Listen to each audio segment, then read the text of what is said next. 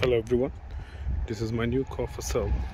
Nissan Qashqai 2009 2 liter petrol.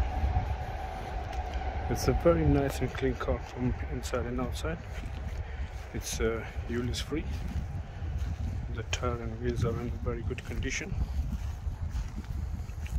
It's a very perfect runner. No issue at all the mileage for this car is very good. It's only 60k for Nissan Qashqai is nothing. Let me show you inside. So the interior is in the black. It's a very nice and beautiful and clean seats. Black dashboard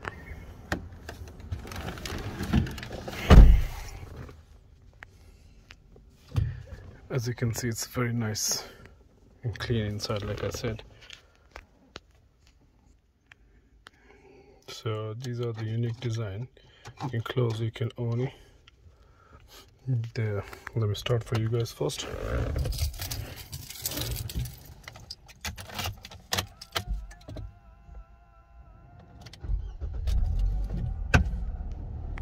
There we go.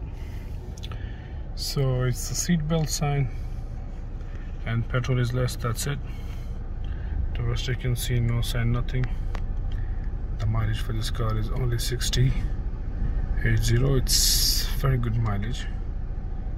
The previous owner was a lady. She kept the car all time very well. The car has a cruise control system as well as you can see in the steering wheel. The multimedia the city player everything is working perfectly. With the very nice speakers. As you can see it's a very hot weather outside so I'm using the AC air conditioner cooling system. It's working perfectly. It's a fully automatic and it's the aux cable place. Uh, no it has an aux cable place as well. Which here that's the aux cable option and this car is a four-wheel car. So not every Nissan Qashqai is a four-wheel. Uh, some edition has a four-wheel like this one. So you can drive like two-wheel drive. You can go to auto or you can uh, you can go to like the as you can see you can lock in which you want. You can see the signs are coming here. So you can drive four-wheel you can drive two-wheel and you can drive like super mode. I can see that's the wheel. If you want it you can lock it move it taken back. So this is the best thing in this car. This is like four-wheel car. You can drive two wheels four wheels auto power mode let me show you the rear side. So it's, it's very nice and big space for rear passenger. The door design are very good as well.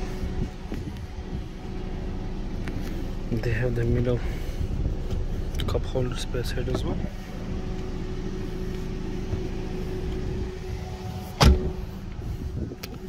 let me show you the boot. So it has a huge space in the boot. And plus uh, some stuff from the company. I think the tire uh, being not there. They got this material here. So this is the car. If somebody interested please let me know. Have a good day